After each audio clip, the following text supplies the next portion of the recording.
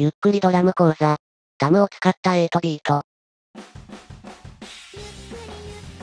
生徒さんの実力に応じた譜面撮影マルチアングルのドラム演奏動画撮影24時間フルサポート初心者から馬娘のエルコンドルパターまで歓迎しているでおなじみの。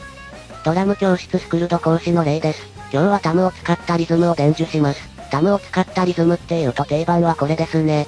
叩きます。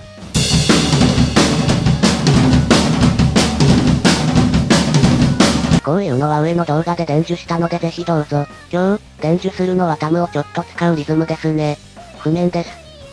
普通のリズムにちょっとタムを混ぜます。1小節目の3拍目、4拍目、ハイハット、ハイタム、スネア、フロア。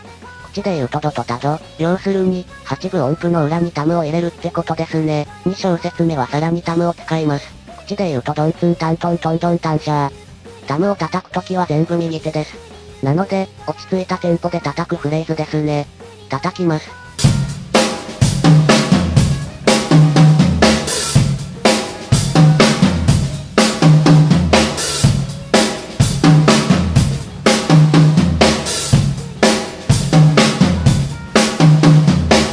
ちなみに今回はワンタムワンフロアでやっていますが、こういうの叩く場合、タムはあればあるほどいいです。タムがいっぱいあるとその分、メロディアスに使えますからね。では、これを応用しましょう。譜面です。あんまり変わってませんが、注目すべきはここです。2小節目の3拍目4拍目。口で言うとドンドドドタンシャー。このバスドラダブルからのフロアで3連符。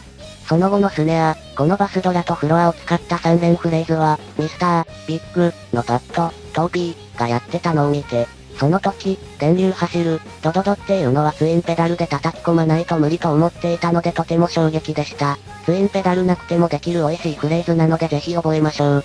叩きます。